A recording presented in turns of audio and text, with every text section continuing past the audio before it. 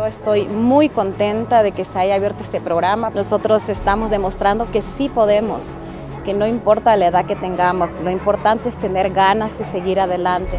Es tan bonito uno saber aprender a leer escribir y es algo fabuloso saber qué dice en un comercio, qué dice un reporte, qué dice un, un cuento. Si Dios me permite y me da salud y vida, yo quiero seguir abogacía.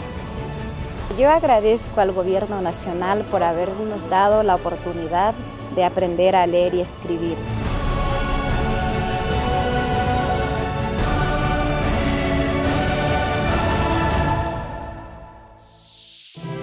El gobierno de todos.